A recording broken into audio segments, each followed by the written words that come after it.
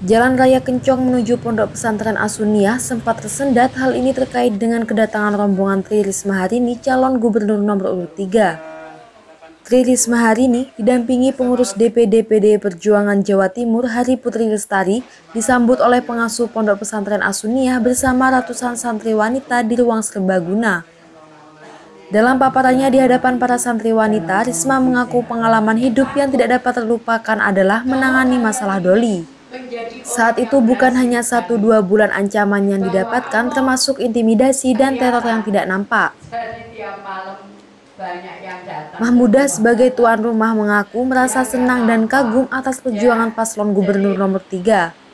Namun untuk pilihan cagup dan cawagup, masyarakat diminta untuk mengutamakan guyup dan rukun walaupun beda pilihan.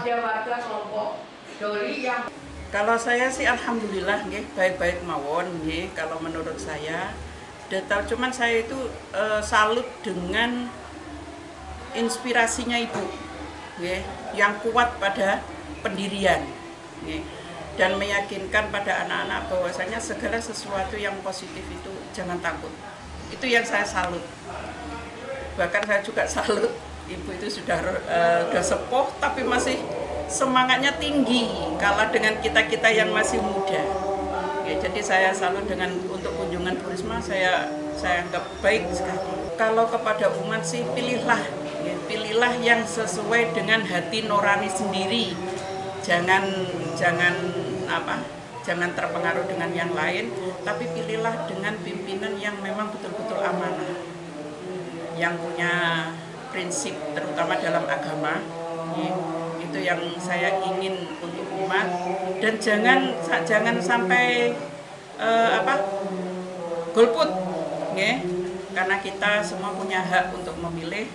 Dan mudah-mudahan apa yang mereka pilih itu sudah sesuai dengan hati hatinya sendiri. Bukan karena uh, orang lain bukan karena apa pun yang lain lah. Jadi uh, mereka memilih karena memang mantap beliau sebagai pemimpin yang amanah untuk ke depannya Sayangnya Tri Risma hari ini enggan diwawancarai begitu selesai acara karena langsung menuju ke mobilnya menuju ke tempat lain untuk acara berikutnya. Dari Kencong, Sugito, Jumber Satu TV melaporkan.